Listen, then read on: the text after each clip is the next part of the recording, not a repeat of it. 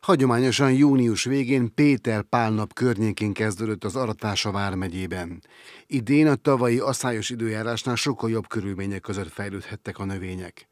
Ennek okán az országos átlagnál sokkal jobb terméshozamot rögzítettek a Vármegyei Agrárkamara szakemberei.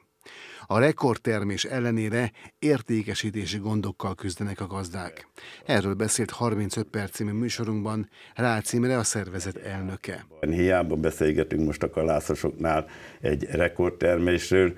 mindenki azzal küzd, hogy a nulla környékére hogy tudná hoz, kihozni, illetve a napraforgó és a kukorica esetében pedig még ilyen raktározási gondok is keletkezhetnek, ugye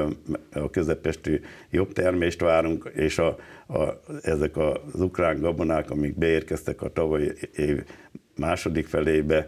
azok nem hagyták még el az országot, Isten igazából sok raktár nem őrült ki, és nem tudjuk, hogy hol lesznek ezek elhelyezve, és nincs is kereslet akár a gabonafélékre se,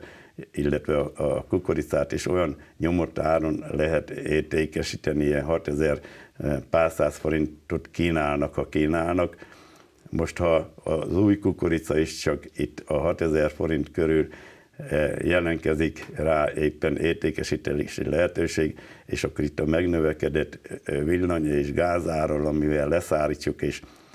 ez az esős csapadékos idő magába hordozta az előbb már említettük, hogy három méteres szár, a nedvességet elég nehezen fogja lefelé jönni, és ha egy 24-es kukoricát akarunk leszárítani 13 és félre, olyan energiaköltsége lesz, hogy, hogy a 6000 forintnak fele el fog menni ott a, a, a szolgáltatást végző cégek részére, és akkor hát ki sem merem mondani, hogy itt egy 3000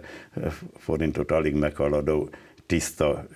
pénz maradhat hektárunk, vagy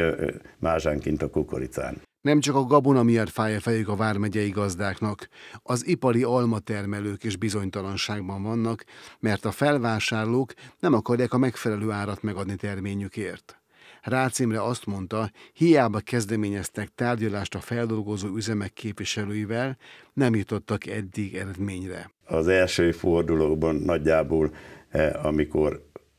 a feldolgozókat is meghívtuk és ismertettük velük, hogy szeretnénk egy ilyen eh, tervet elkészíteni az Agrárminisztérium számára, akkor még ott, eh, amikor nem beszéltünk a pénzről, ott még egyetértettünk, de ahogy haladtunk időben előre, és szóba került az, hogy mennyi az akkor eh, az Agrárgazdasági Kamara, Magosz, az Agrárminisztérium azt képviselik, hogy ez az ár nem lehet az önköltség alatt. Nem lehet azt el, meghatározni, hogy annyit fogol kapni a